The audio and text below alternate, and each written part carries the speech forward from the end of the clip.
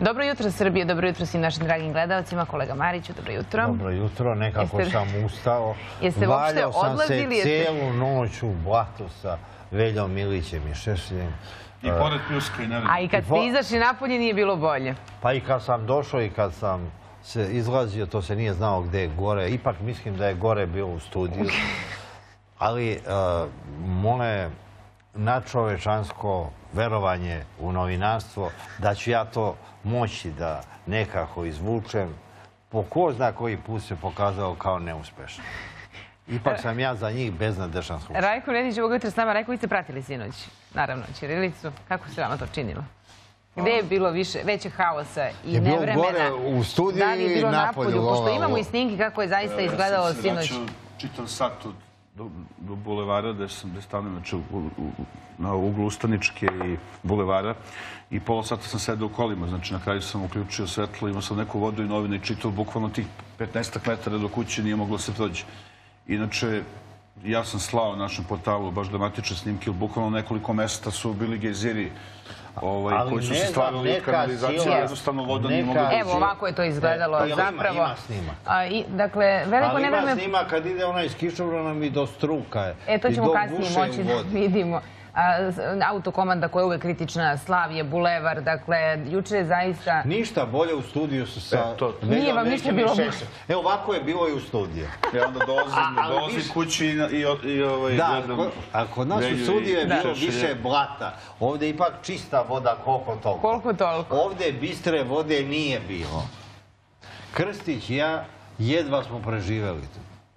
Od onog šešelji velje su stari znanci. Stare zanatlije. Koliko, sam čuo da se pomirili kod vas, tako da je Evo, još veći 15 go- spektakl bio. 15 godina na prevaru se pomirio Šešelj s Veljom. Velja je podmetno i e, čerka koja je jako ljubazna, koja je e, mene spasla posle stentova. Kako ja sad da napadnem Velju kad je njegova čerka koja radi na Dedinju, e, kad sam izašao iz anestezije, bila prva koja mi je e, ukazala pomoć, koja, koja dok sam ležao u bolnici bila je tu.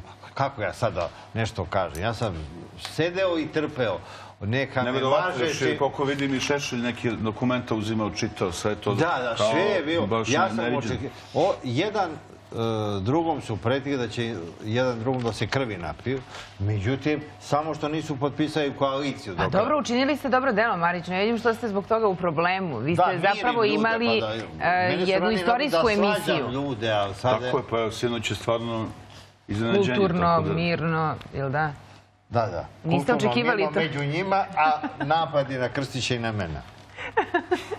Rajko, šta vi, šta vi danas a, pišete u kuriru? Evo, naslovna strana nije politika, zanimljivo. Mislim, e, jel tako s tim da je sada kao predizborna kampanja, očekivali smo samo... zvezde su puka sirotinja. Evo, ko- Brega je zaradio za godinu dana 43 evra. Rasta 420. Đani 4670 evra. Jedino je Ceca Priznala žena koliko je zaradila. Priznala- 374.341 evra. Pa vidite, nevjerojatno je ovaj, da se naša estrada već godinama i decenijama hvali. Vidimo kako žive ovdje po Srbiji, znači imaju kuće, stanove, luksuzni automobili, garderoba. Naravno, do sada je bila stara priča kao odu u inostranstvo pa se vraćaju sa koferima punih para.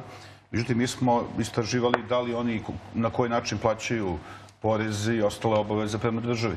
I došli smo do nevjerojatnih podataka, pošto je kod nas to regulisano honorarima, znači oni kako, na koji način praktično naprave legalnu prevaru. E, Dobro, prvo, ovo su prihodi u Srbiji. Tako je, da, da, Većina da, od njih i ne radi ovde, manje više osim Pa dobro, ovih nije baš da ne rade oni, ovo, evo, i, i Pa imaju dosta i nastupa ovdje, po- naročito, pa šema je takva da se znači, na, na, napravi najpre ugovor, znači honorar koji može da glasi na bilo koju cifru.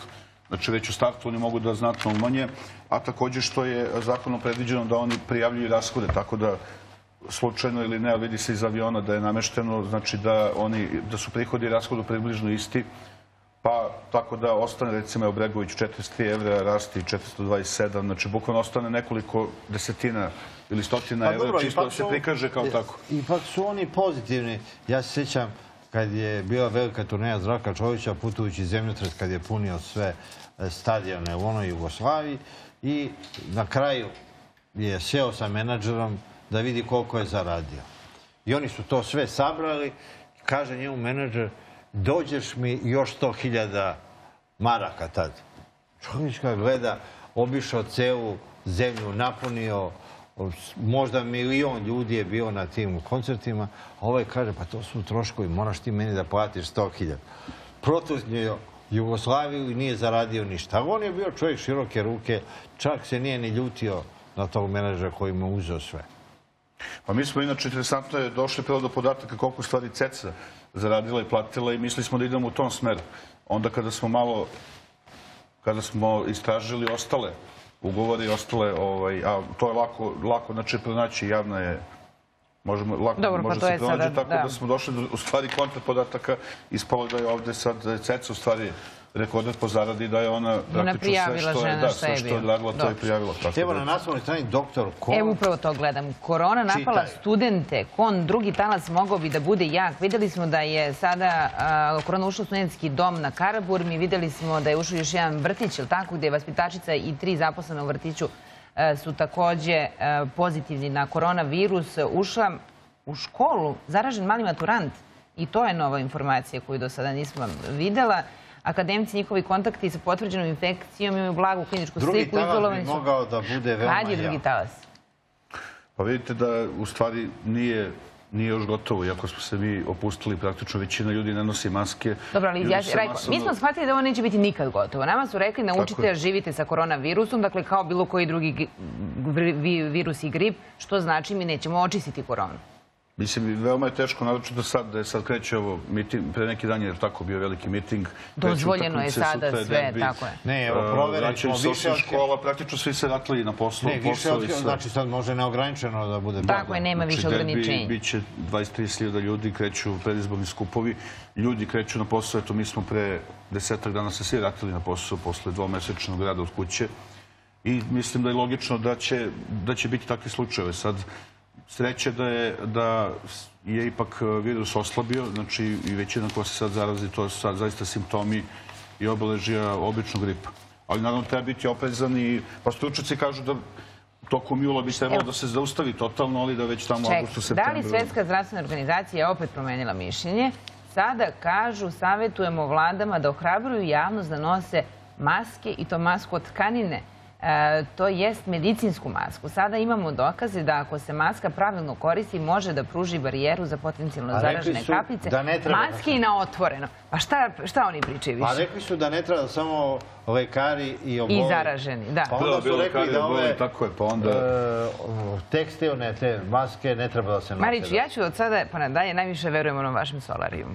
E, Ja sam To ispostavilo sola- kao Pa jedino tačno. Ti se prijavila u Kako da nisam? se lečiš od korone. Kako pa to, ne, to je Pa preventiva. generalno nije kraj. Vid- Vidite da je već u Južna Amerika je sad na udaru Rusija, isto je tek na vrhuncu. Tako Evo, da vi ste razrešili e, najveću dilemu koja je bila tema e, i utiska nedelje i raznih šova emisija.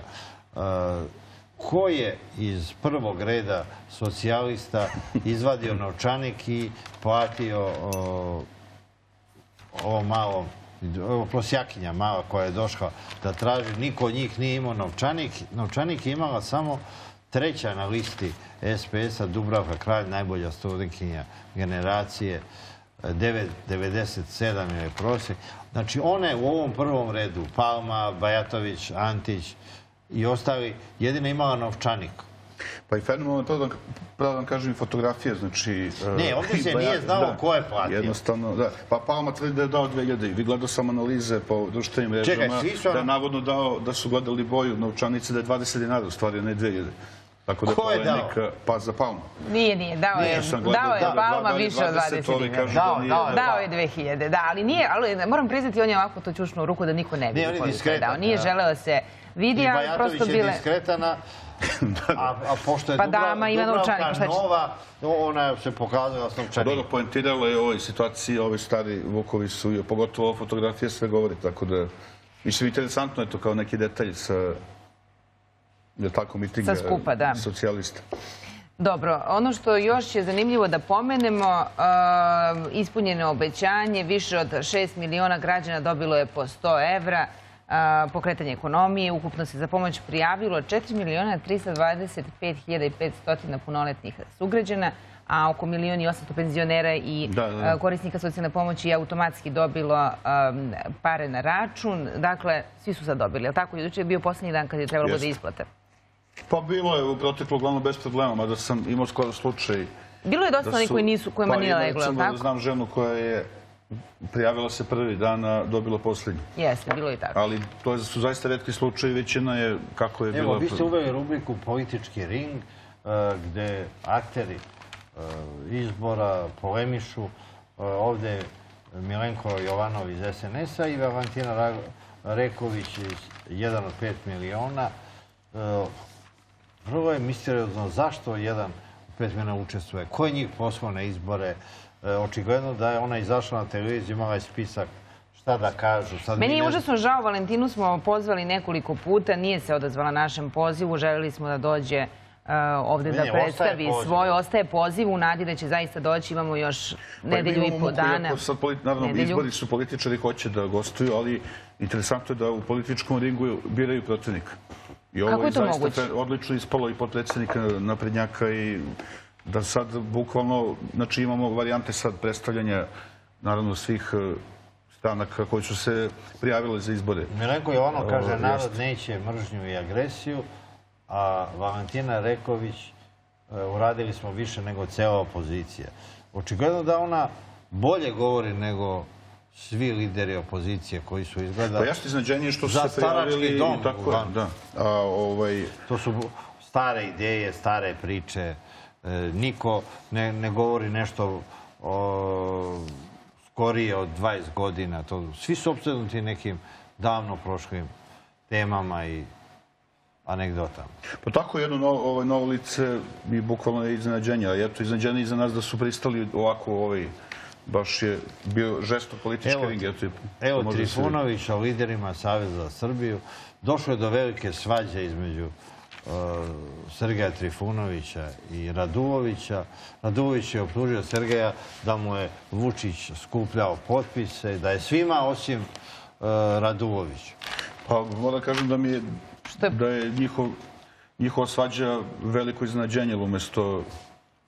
Ne, niko nije pomio ni Kosovo, ni ekonomiju, ništa. Jednostavno su sami od sebe krenuli u priču. Ovaj, i Veći protivnik im ne treba. Pa veći protivnik ne treba i onda zaista... Dakle, e, pratimo situaciju 21. juna. Evo sada posljednje informacije. Zvanično imamo dakle, liste koje su proglašene izborne liste za izbore 2020. Dakle, to je to što je bilo, bilo je. Koliko je? Sada ću vam reći, imamo 22 stranke. Je li Čeda prošao? Prva Aleksandar Vučić, Ivica Dačić, dr. Vojislav Šešelj, Savez vojnih Ajmo Mađara. Aleksandar Šapić. A krajemo da vidimo Ruska stranka, Čedomir Jovanović, Koalicija za mir, Potvrđen neka maske Čedo. padnu, zelena stranka, grupa građana od 5 miliona. Dakle, svi su, a odbijene su dve liste, socijalizam jedini izlaz, skoj, i odbijena je... e, Sedam a, sekretara pokret su. e, Le, e, Leviatan Žim za Srbiju je zbog propusta u pogledu potpisa birača odbijena Leviatan, lista. to je organizacija ona koja je napala migrante. Da. Pa interesantno, ne znam da li je ta stranka, da, su, da je ta neka komunistička stranka, da su oni mrtvi hladni došli i predali 400 potpisa. Jednostavno su došli i predali 400, znači nije Pa, ono sad Bože kao moj. 10.000 pa... Koliko ko ima? Da, Tako ali, to je neki mehanizam kako se skupljaju ti potpisi. Očigledno da... Pa veliki problem i za predsjedničke je bio radio i sada, da. Trifunović, njega znaju iz filmova i serija. On je buko za rukav ljude u Knez Mihajlovoj. Čak je i čitalo I to za, je da bilo neko iskurira za dvije medije tamo u Kosovskoj kad je skupljao i rekao je čovjek iskurio i on se oduševio kao odmah stavio. Dobro, to je stvarno bilo praćeno da uživo, da njegovo to skupljenje glasu. A kako god bilo, to jesu Dobro je bilo i tuča i, svega je tu bilo. Pa teško je sad, pogotovo malo manje ljudi na ulici posle korone i sve da ovaj, generalno 10.000 regularnih glasova, pogotovo što je sad sve podložno velikoj kontroli da se prikupi. Čitamo, čitamo kurir, hvala najlepše. Evo ga, dakle, danas a, specijal otkrivamo legalna prevara, samit Beograda i Prištine za tri meseca, a, drugi talas bi mogao bude, dakle, to su sve teme koje se danas kurir bavi, ima tu još mnogo što što mi nismo prokomentarisali. A, Hvala. Hvala na pozivu. Pa najlepše nastavljamo dalje.